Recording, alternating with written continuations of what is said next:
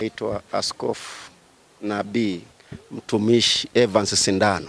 Kanisa letu inaitwa Huduma ya Maniemu, Mungu anayeweza mshinda mtawala, katika kanisa ambayo ina muunganiko Tanzania nzima, ikiitwa Injili vijijini na mjini. Tanzania liko sehemu mbalimbali, lakini ni fanda wa kwenye huduma ile ambayo Mungu anaweza Mungu anayeweza mshinda mtawala, huduma ya kutembea, kufungua watu, kusaidia wahitaji na wajana yatima kila mahali ambako tunakuwa tuna huduma au mbali hatuna huduma, lakini na kusikiliza ni wapi penye uhitaji muhimu. Aa, sisi kwenye uratibu wangu wa huduma yangu, wakati Mungu ananituma kazi aliniambia nataka nikubarikie vipawa mbalimbali, lakini mafanikio yako usaidie hitaji na wajane. Kwa hiyo nikapangiwa, nikasikia Mungu anatuma kila baada ya miezi mitatu waga nazunguka sehemu mbalimbali kuangalia watoto yatima na wajane, au zinipe taarifa au nifunue sehemu kwenda kuwatembelea na kutoa misaada. Lakini hapa nilipotokewa maono naitwa kuja kwenye kituo hiki, nikaja nikaona eneo hili, nikakuta yule mama kweli ana, ana, ana moyo wa kulea watoto wahitaji na yatima, lakini ana kipawa cha namna hiyo ndani yake, sio tofauti na wale ambao wameanzisha vituo kutegemea wafadhili au kupatia kipato chao. Nilipopata hapa, nilipokuja hapa nikakukusa mama moyo na nikakuta kuna watoto kweli wa, ambao wahitaji kweli, kabila tofauti, dini tofauti. Kuna wengine ambao wana asili hata zingine za, za nje, naambia aliwalea akiwa aliwatukoka akiwa dogo. Kwa kweli nikajua Mungu amenituma kweli, nikaamua kuja kusaidia kituo hiki, ingawa alafu nikaja kugundua kwamba mama huyo anasumbuliwa sana na, na, na, na, na watu ambao wanakuja kumkwamisha kituo kisitambulike. Nikamwomba Mungu kwamba hii anisaidie nipate neema ya kuleta kituo hiki, lakini nipate watu mbalimbali mbali. kama leo unavyoona nimekuja hapa, nina watumishi wa kanisani wa washirika, lakini nimeweza kwenye washirika wao kupata washirika wengine. Kwa mfano, kuna wanasheria kutoka Wizara ya Ardhi na kamishna wa ardhi, watu mbalimbali wamekuja wame, kuguswa na ile ambayo nimewapelekea habari hii, kwa sababu unapomsaidia muhitaji au kweli muhitaji kweli na kweli awe yupo. Kuna wengine wanasema wana uhitaji lakini hawana uhitaji, wamefanya ujanja ujanja, lakini hapa kweli kuna uhitaji sana na, na, na, na sasa uhitaji ambao tumepewa huduma hizi Mungu ametupa, tusaidie serikali pia kama hivi rais anavyo, anavyo yupo, viongozi mbalimbali wapo, wanapotamka maneno yawe faraja kwa. Ukikuta huku chini kuna uchungu, kuna maumivu, hakuna kazi ambayo ni nzito kulea mtu usiye ndugu yako, lakini mama amelea mtoto ambao sio ndugu yake, anatafuta watu wasio ndugu yake, ni kitu kigumu. Hata wenye fedha wengi wamejengea watu mbalimbali, hataki waguswe na vitu vyao, lakini kuna mtu anajaribu kukaa na watu namna hii, nyumba moja, chumba kimoja, ujue mtu huyo ni mtu wa pekee. Sasa tunajaribu kusaidia hilo, lakini hivyo hivyo hawa ni Watanzania wenzetu wasije wakakuwa na mauchungu na maumivu. Siku ya siku mtu ambaye namna hiyo usipomsaidia akaja kupata nafasi fulani akikumbuka aliteseka, hapo si rahisi kusaidia kazini, atakuwa na kisasi. Lakini tukiwapa furaha watoto hawa, tukiwatoa kisasi wakapata kuwa furaha, hata wakija kukaa nafasi mbalimbali watafanya watu kuwa na furaha. Ndio maana ukija hapo changamoto kwa maelezo huyo mama kwamba kuna watendaji wanambeza, wanakuja hivi, changamoto mbalimbali wanafanya hivi, lakini kiangalia nani mwenye moyo kama huyu ambaye mama huyu angeweza kukaa mwenyewe anasema alipoteza, anasema ni kweli, mpaka miaka amesema. Alipoteza watoto wakati analea watoto namna hii, wengine. Akukata tamaa, ameendelea kulea watoto wengine. Sasa mtu namna hii, kwa nini asikwe mkono? Serikali nasikia hata serikali nafikiri nanisikia nisikivu, ingetafuta watu kama wenye vipawa kuwa support, sio kuwabeza au kuwaletea watu mbali kuwakandamiza. Baada ya kusema mtu ameanza kitu hiki, tumsaidie, tumpeje, tumpeje huduma, tumshike mkono, unakuta watu kuwakandamiza, kusema maneno yasiyofaa kwamba wewe. Sasa watoto hao wakiachwa pembeni, nenda wengine wapeleke hivi, wataenda wapi? Mtu akishaamua kuacha wale wale ambao wako kule mjini kule Kariakoo wanatembea, ukamwambia nikupeleka, ambia sitaki kutoka maisha yale ya maisha ya ajabu ajabu, aisha yazoea, alikotoka kule kuna matatizo, na watoto wengine wanakuwa na akili kweli. Walipotoka wametoka sehemu za tabu, kuwarudisha si rahisi. Wakikuta hapo mtu ambaye ameweza kuwahifadhi, kuwalea, ameacha kujitoa kula kwa peke yake, anakula nao, anasema nifuge hiki ni watoto wangu, nataka asaidiwe, asapotiwe. Na sisi watumishi wa Mungu kwenye hata kwenye, kwenye katiba ya, ya, ya, ya zetu za huduma zetu zina maelezo tunasaidia watoto yatima na wajane, lakini kibiblia kabisa kwamba kwenye zaka saidia watoto yatima na mjane apeleke kidogo, lakini wako watumishi wengi wamebarikiwa, wako hivi. Uwasikii, na akisaidia amesaidia jamaa zao peke yake au jamaa wenyewe mpaka ajionyesha itoke. Mimi hatufanye kwa kujionyesha, tunafanya kwamba wajue kuna watu kama hawa na hasa mtu mwenye changamoto kama hii ndiye apelekewe, na dini iliyo safi ni kusaidia yatima na wajane, kwa watu wanjisahau.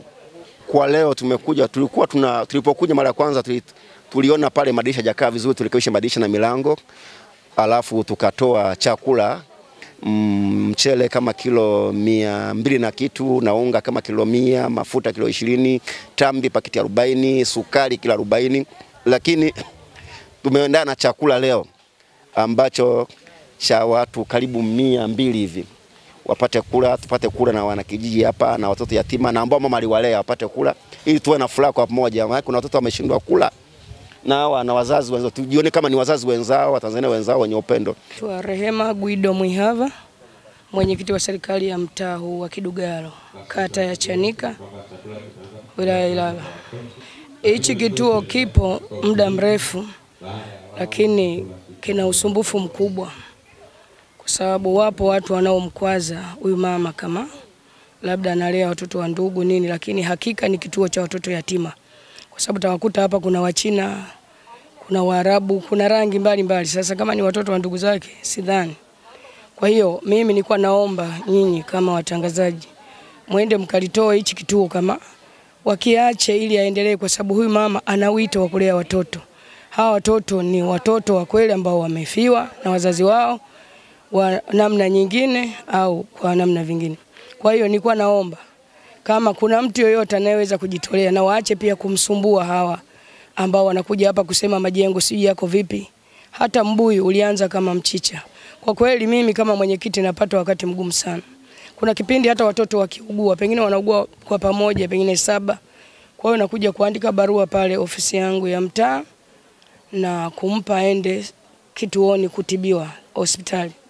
Kwa hiyo nako huko watapiga simu kama kweli hawa watoto, nikamwambia hiyo barua niloandika ni ya kweli. Kwa hiyo naomba waamini hichi kituo ni cha kweli na analea huyu mama kwa muda mrefu, hakuanza jana wala juzi. Kwa majina anaitwa Teddy Kachwande. Ni nimeanza kulea watoto tangu mwaka sabini na sita. Nilianzia Keko nikiwa na watoto tisa. Nimeendelea watoto walipofika arobaini ikawa ni shida sana, ikabidi tuame. Nikamwomba mume wangu akakubali, ndio tukahamia huko. Nikahama na watoto wachache wale waliokuwa shule ya msingi, wa sekondari nikawaacha. Tumeendelea, lakini wakati natoka Keko nilikuwa na usajili kutoka ustawi wa jamii. Nilipofika huku nika, nikaenda kuripoti, nimeripoti kwa mwenyekiti, nimeenda kwenye kata na kwa mama maendeleo, wakapokea, nikarudi.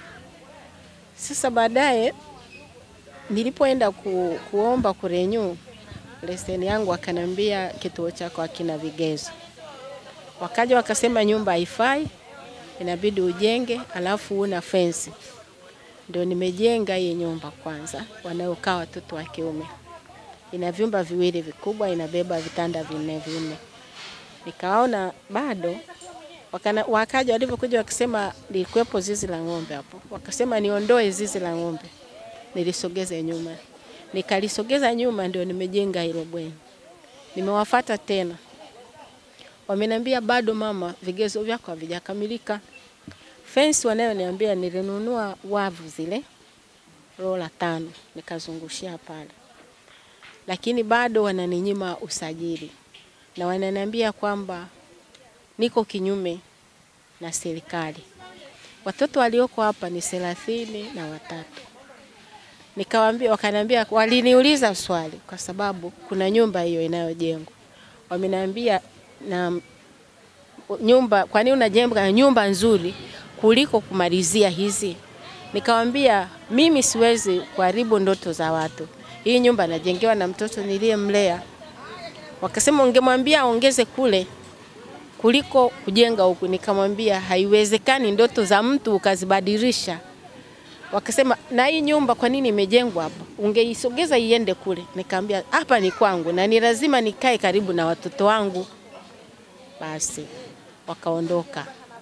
Wakaniambia mama, una, utachukuliwa sheria au watoto tuwatoe, tunakupa miezi mitatu. Nikamwambia kama mnawapeleka sehemu sahihi, wapelekeni, nitashukuru, lakini nihakikishe kwamba watoto wangu wanapelekwa sehemu inayofaa. Wakaniambia kwani watoto hawana ndugu? Nikamwambia wengine wana ndugu, wengine hawana, na wengine wana ndugu, lakini ndugu hawana uwezo. basi ndio wakaondoka. Kwa kweli hilo jambo linaniuma sana, wanakataa kunipa usajili. Sielewi niwe na vigezo vya aina gani, nimeisha shindwa, yani nashindwa kuelewa. Kuna vituo vingine naenda kuangalia kuangalia marafiki zangu wanavyofanya, nakuta wengine nyumba mbovu afadhali ya kwangu eh, lakini mimi natumia nguvu zangu sijapata msaada wote serikalini, labda watu wanaoguswa na makanisa ndio wanakuja kunipa support.